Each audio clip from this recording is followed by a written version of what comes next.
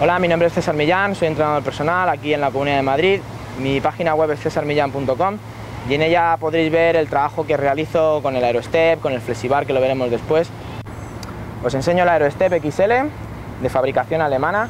Tiene dos globos de aire, completamente estable por un lado, también estable por el otro, con unas rugosidades que activan el sistema nervioso en los pies si trabajábamos descalzos y que gracias a estos globos de aire la plataforma es completamente inestable.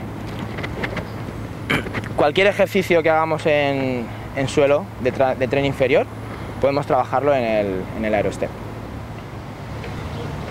Vamos a trabajar el squat primero en suelo y seguidamente en la plataforma inestable.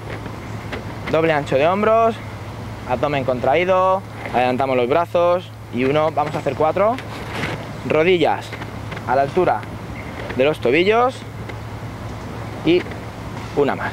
Muy bien. Pisas tu pierna derecha encima del globo, abrimos doble ancho de hombros y verás que ahora tu pierna izquierda requiere de equilibrio. Más. Ahí, muy bien. Vamos a pisar con la pierna izquierda. Verás que tu pierna izquierda la requiere de más equilibrio. Como te he comentado, contraemos abdomen, transversos, lumbar y oblicuos. Y hacemos una más. Muy bien.